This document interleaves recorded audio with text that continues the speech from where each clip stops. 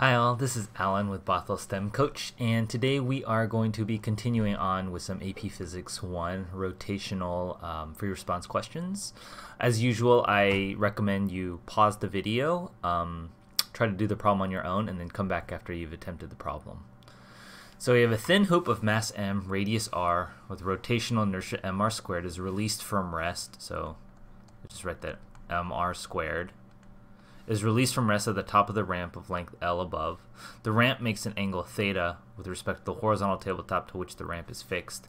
The table is a height h above the floor. Assume the loop hoop rolls without slipping down the ramp and across the table and express all algebraic answers in terms of the given quantities and fundamental constants.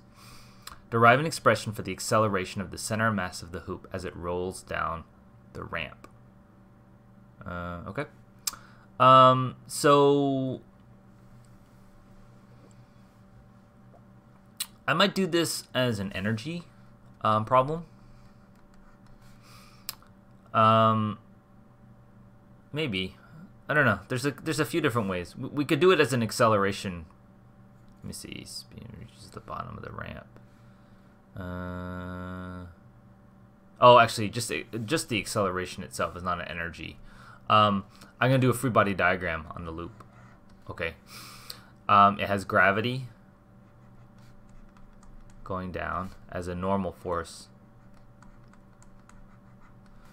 And it does have a slight amount of friction. Oh, the normal force is exerted here. It does have a slight amount of friction.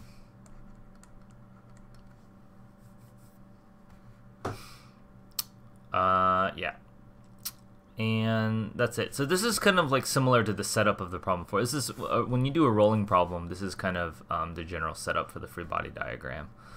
Um, let's see. We know that this angle is theta, and so I want to look at the horizontal components of the forces. Um, the net force in the x direction, if I'm going to say this is positive, is um, is Fg sine theta minus the other horizontal component forces, force of friction. And the normal force is perpendicular to the x-axis, which is the along the ramp. So that equals ma. So the acceleration um, is given, you know, this, this equation, I, I can't solve this because I don't have friction, I don't have acceleration, so I, I can't solve this directly. So then I gotta look at the net torque. The only thing acting creating a torque because this force of gravity is acting at the center of the ring so there's no force uh, no torque due to this force because the r would be zero and the normal force is parallel to the r vector. Um, so that that torque is zero. So the r vector for the force of friction is from the point of rotation to the point of where the force contacts is this here. So um, this torque is just r times the force of friction and that equals i alpha and I is mr squared alpha. And if you remember, um, to relate A and alpha when you're doing rolling, um, A is equal to alpha R. So this is really M times A. Uh, MR times A. Because uh, I take one of the R alphas and convert to A. Uh, so then the, um, hmm, that cancels. So it's not really force of friction equals, um, yeah, this is big M, by the way, MA. So when I put it into here, the force of friction is equal to MA also. Um, so I get FG sine theta minus MA is equal to MA. So I can solve for A now. So mg sine theta is equal to 2ma and then I can divide by 2. Oops, that's little a. Little a is equal to uh, 1 half g sine theta. Okay? B, derive an expression for the speed of the center of the mass of the hoop when it reaches the bottom of the ramp. Okay, so you could do this through energy, but since they gave you, since you've already solved for acceleration, you might as well use kinematics. Um, there's two equations we can use, right, for distance and position. I have this equation, delta x is equal to v naught t plus 1 half at squared. However, this requires me to know like how long it's been rolling for, whereas this equation doesn't.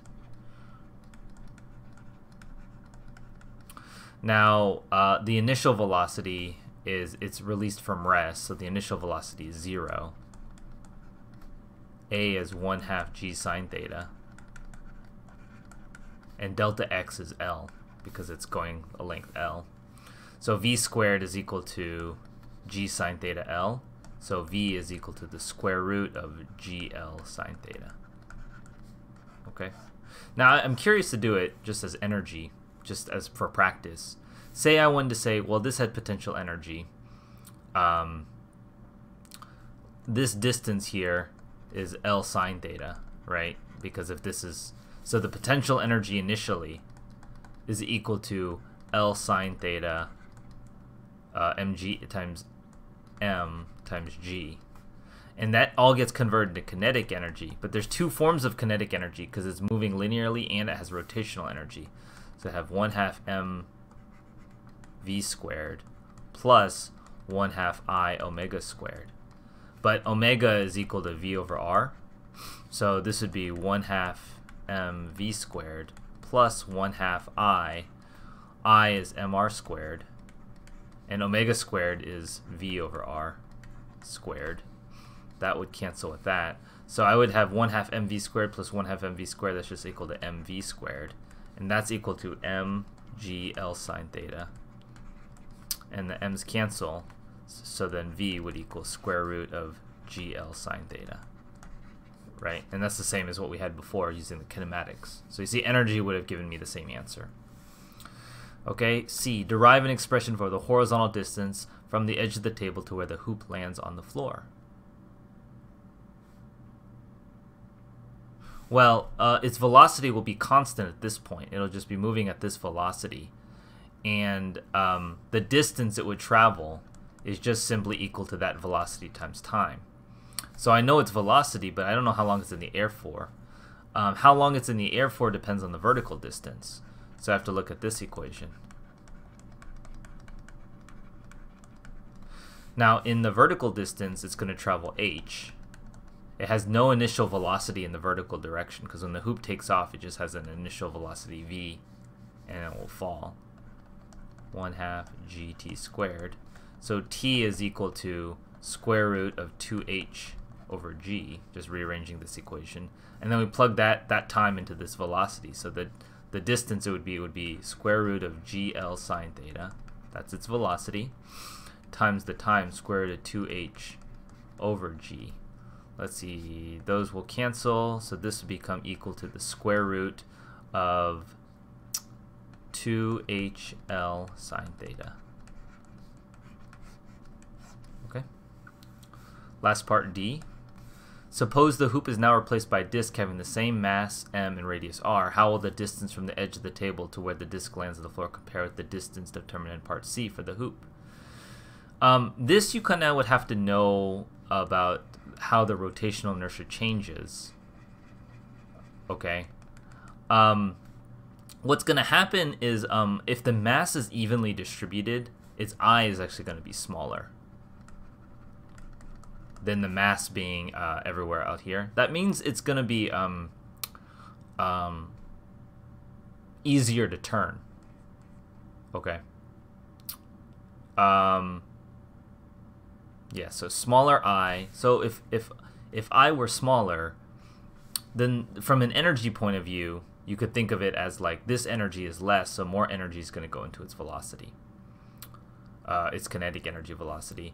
Or you could do it from the kinematics. What's going to happen is, um, let's see, if this were smaller, then the force of friction would be smaller.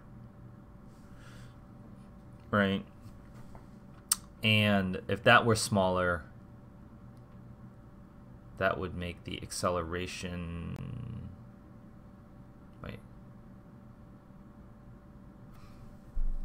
now I'm a little confused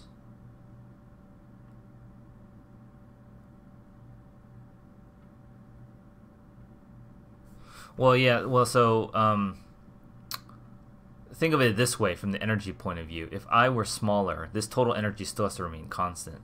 So this coefficient in front of v squared would be smaller.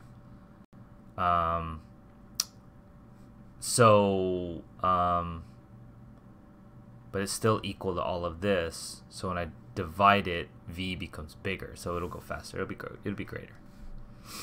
Um, from this analysis, the kinematic analysis, and the torque analysis, if I is smaller, um, force of friction, then the force of friction would be smaller. That plus that is smaller. Then I'm going to divide by a smaller number, and so A is going to be bigger. So A will be larger, right? So that that that that in a sentence, either of those explanations would be sufficient. So, okay, um, yeah. Hope you found that helpful. I'll see you guys. See you all in the next video. Thanks for watching the video guys. Please leave a comment, like, or subscribe below to catch up more of the content. And see any links below. I offer free homework help on uh, Twitch and Discord. See you guys in the next video.